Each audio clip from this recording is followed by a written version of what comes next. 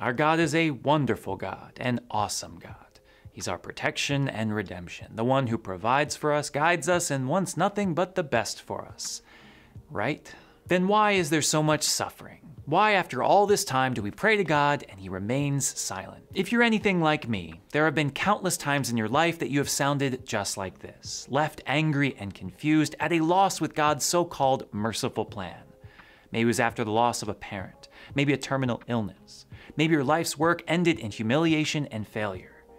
Moments like these cause us to question if our God is, in fact, all knowing, all powerful, all loving. So, what do we do in situations like this? Is it okay to get angry with God? As a Catholic priest, I think that it is probably a sin not to. But we must be careful of one thing. Let's start with that first point that I think it is probably a sin not to get angry with God. Do you believe that God is ever present and all knowing? I would hope so, otherwise, he wouldn't be God.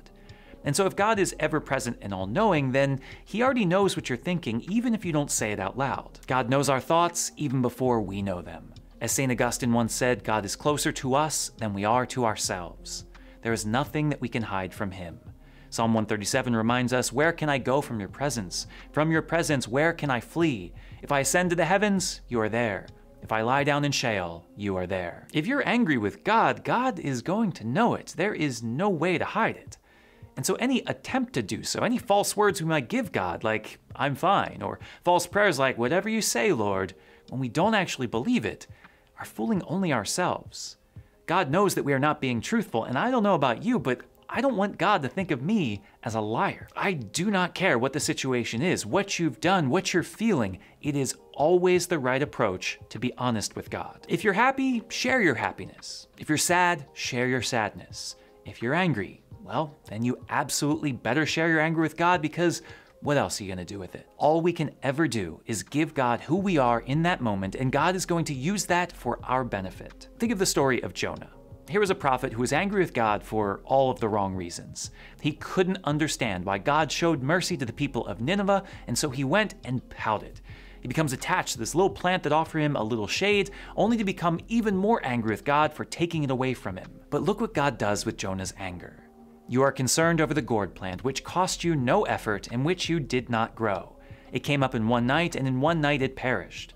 And should I not be more concerned over the great city of Nineveh, in which there are more than a 120,000 persons who cannot know their right hand from their left, not to mention all the animals? God uses our anger to help us understand and grow closer to Him. He baits Jonah in a way to come to him with his true feelings so that God can show him something that he needs to know. Had Jonah lied to God and said everything was fine, had he hid his feelings, this would never have happened. I say, if you are angry with God, then let God know. But that doesn't mean that everything we say is okay.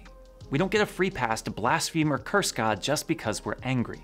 Like I tell people preparing for marriage, it is okay to fight. In fact, it is necessary to fight sometimes, but it is never okay to hate. This, of course, is not because we're afraid of hurting God's feelings. Unlike our spouse or best friends, the words we say can never take anything away from God. It's not going to wallow in pity or hold a grudge. We could curse and condemn God all day long, and it's not going to affect him in the slightest. But it would affect us. Think about that. In saying false or hateful things towards God, what we're ultimately doing is accusing ourselves and cutting ourselves off from the source of life and goodness. We're looking at the reason we exist and saying, I don't need you. That is never going to work out well for us in the long run.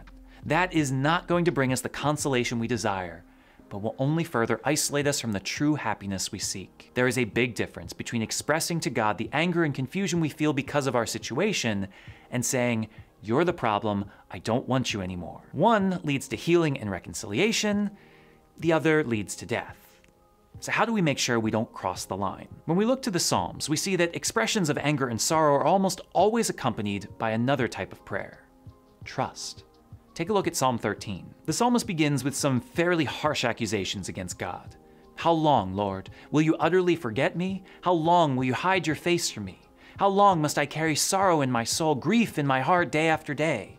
How long will my enemy triumph over me? They feel abandoned. They feel forgotten.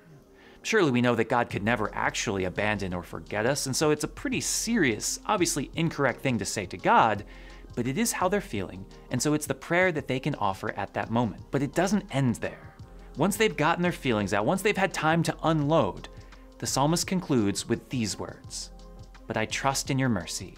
Grant my heart joy in your salvation. I will sing to the Lord, for he has dealt bountifully with me. That is an honest, good prayer. I don't understand. I'm not happy, but I'm not going to give up on you, God. Please come to my aid. I want to challenge you to pray this prayer. I counsel a lot of people who have been through some hard times, who express their anger and confusion with me, and it always surprises me to find that they have not actually brought this to God. They've never said, God, I'm angry. Don't hold that in. Don't pretend like everything is okay. God already knows how you feel, and so you might as well bring everything you are to Him. Express your anger, express your sorrow, but then never forget to share your love and trust as well. Do this, and I guarantee you, the Lord will bring consolation in your time of need.